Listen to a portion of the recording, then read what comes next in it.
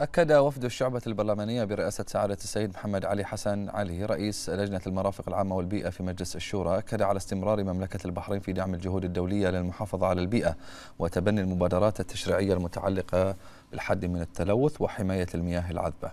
جاء ذلك بمشاركة وفد الشعبة في أعمال الاجتماع البرلماني بمناسبة المنتدى العالمي العاشر للمياه المنعقد في جزيرة بالي.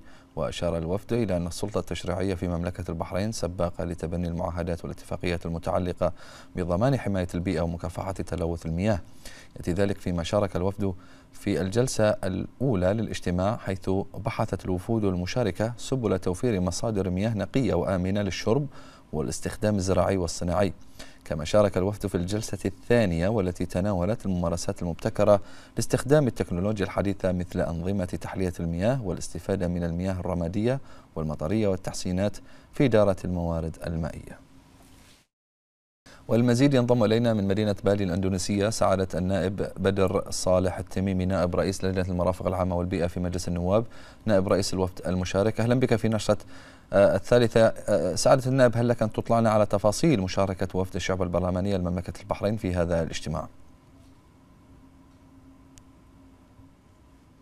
نعم.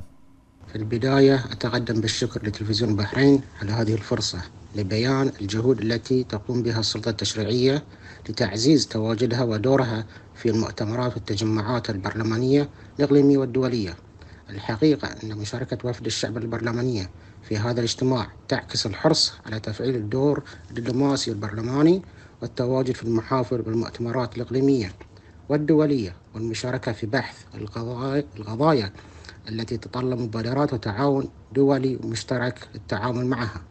خاصة فيما يتعلق بموضوع المؤتمر وهو المياه العذبة حيث يأتي هذا الاجتماع لبحث توفير الحلول المستدامة والمتكاملة التي تضمن توافر المياه النقية ومراعاة احتياجات الحالية والمستقبلية وتشجيع التقنيات الحديثة والمستدامة لتعزيز فعال استخدام الموارد المائية وتقليل تأثيرات النفايات والتلوث على البيئة. وطبعا ذلك يساعد بشكل فعال على تحقيق الهدف السادس من أهداف التنمية المستدامة التي تبناها أيضا مملكة البحرين ويدفع عجلة التنمية المستدامة في باقي المجالات كالصحة والتعليم والقضاء على الفقر والحماية الموارد الطبيعية وغيرها. نحن إن شاء الله من خلال هذه المشاركة في هذا المؤتمر اللي يمثل مبادرة مشتركة بين الاتحاد البرلماني الدولي ومجلس مياه العالمي ومجلس النواب في أندونيسيا نسعى للاطلاع على الجهود الدولية للتعامل مع قضايا المياه إلى جانب المشاركة الفعالة التي في المحاور التي سيتناولها الاجتماع والتي ستتناول ممارسات مشتركة للوصول الشامل والعادل إلى المياه. نعم. فضلا عن الجلسة الخاصة عن دبلوماسية المياه والتعاون والعلم من أجل السلام. نعم من مدينة بالي الإندونيسية سعادة النائب بدر صالح التميمي نائب رئيس لجنة المرافق العامة والبيئة في مجلس النواب. شكرا جزيلا لك.